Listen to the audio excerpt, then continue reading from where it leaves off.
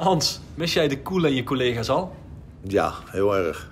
En uh, vooral het, uh, het samen zijn, met elkaar bezig zijn en uh, zeker met die jongens op het veld.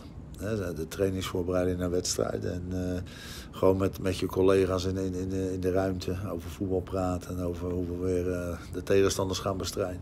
Dus dat is wat je echt mist, het samen zijn. Maar de mensen zullen het zien op de achtergrond. Je bent er nu wel aanwezig. Wel in vrije tijdskleding. Maar ja. dit is geen vrije tijd voor jou volgens mij. Nee, we, zijn, uh, we proberen zoveel mogelijk één keer in de week toch bij elkaar te komen. Uh, dat is meestal op maandag. En dan uh, praten we weer even door hoe de situatie is. hoe het met, met de spelers ervoor staat. dat doen de fysio's. Die, die hebben daar steeds contact met de jongens in het, in het trainingsprogramma. En hoe die er dan voor staan. En dat we dan met z'n allen weer praten. kijken in het ongewisse zijn waar we kunnen plannen. Dus niks. Want zo is het gewoon. En dat je dan daarvan uit weer een beetje de gein en de ongein, de humor erin houdt. En dat je elkaar toch even, even ziet, dat doet, dat doet je wel goed. Met je collega's van technische en medische staf heb je dus veelvuldig contact. Heb jij zelf ook contact persoonlijk met spelers? Nee, we hebben gezegd van uh, laten we nou dat uh, niet allemaal door elkaar doen. We hebben aan, aanspreekpunt als Hans. Dat is onze fysio met, met Harold en met Rinus. En die houden die jongens staat op de hoogte. Mocht er gekkigheid zijn, ja, dan hebben we natuurlijk daarin contacten met, met, met de staf. En dan gaan we daar met die jongens mee, uh, mee aan de gang. Maar op dat moment doen ze allemaal hun programma. En iedereen is, is nog lekker fit en dat is wel belangrijk. Er wordt wel veel gevraagd van eigen discipline en verantwoordelijkheid van spelers. Ja. Denk je dat ze er allemaal mee om kunnen gaan? Nou, het is eigenlijk een beetje, zeg maar, na, na, de, na de competitie. Uh, je, je, je, rust pakken en dan weer op, jezelf weer optrainen voor, voor, voor de start van de competitie. Ja, en dan, dan werk je wel ergens naartoe met een vaste datum. En, en, en dat is wel lastig, denk ik, in het, uh, ja, in het mentale sfeer. Om je daarop voor te bereiden. Toevallig vanmorgen in de auto zit ik nog te luisteren. Dan uh, is er een wielrenster. Die, die zou zich focussen op, op de Olympische Spelen.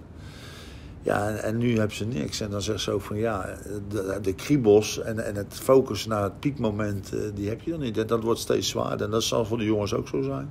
Maar oké, uiteindelijk is dat ook de enige uitweg die ze dan even hebben om uh, toch uh, wat voor hunzelf te doen. Dat is, dat is lekker trainen. Natuurlijk missen ze de bal.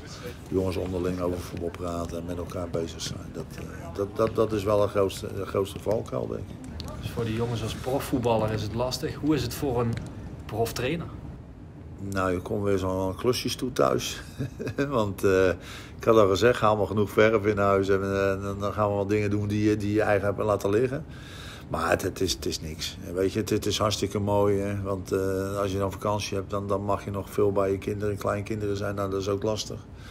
Dat doen we ook op, op, op redelijke afstand. En ja, maar je, het, het, liefst ben je met voetbal bezig. En dat is er dan niet. Dus het is, ook, ook voor ons is dat best, best lastig. Hè? Maar oké, wij, hoeven niet met die bal te kloten. En, en dat is voor die jongens is dat wel, wel lekker.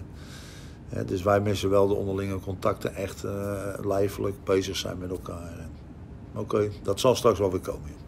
Is Hans de Koning iemand die thuis uh, gezellig in een hoekje een boekje gaat zitten lezen? Nee, helemaal niet. Nee, helemaal niet. Dus ik, ben heel onrustig en dan zeg ik, uh, ja, dat kunnen we ook nog wel doen. Ik ben al geloof ik tien keer naar de stort gereden. dus alles opgeruimd, schuur leeg noem maar op. En dan had ik nog een heel klein plukje. Ik zeg, nou dat breng ik wel. Nee, dat kan van de week, dat komt nog wel bij. Maar dan wil ik toch weg. En dat is niet omdat ik niet naar mijn zin heb thuis. Absoluut niet. Maar het, de onrust van kriebel dingen willen doen, dat, dat is er niet. En, ik ga niet met een boekje, dat, dat, dat is niet aan mij besteed. Iedereen zal er natuurlijk last van hebben. Heb jij nog een advies voor onze supporters?